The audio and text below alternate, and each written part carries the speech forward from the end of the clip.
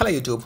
So it's been two weeks since the last OxygenOS Open Beta update. So this week they released the Open Beta 22 for OnePlus 3 and Open Beta 13 for the OnePlus 3T. Even though the size of the update is around 400 MB, there is no visible change that you can find out because this is more about the improvements and bug fixes. So talking about the improvements, you can find data usage tracking optimizations have and then expanded screenshot optimizations as well as we have different OnePlus applications like file manager, gallery and things like that. All of them are updated but still there is no new features have been added that we can go and visible. And talking about the bug fixes they did fix on the installation issues of some parallel apps and then screenshot issues on some parallel apps. Then uh, weather widgets sometimes won't update as well as the font issues after changing system language. All these issues have been addressed and then fixed. This build is more about the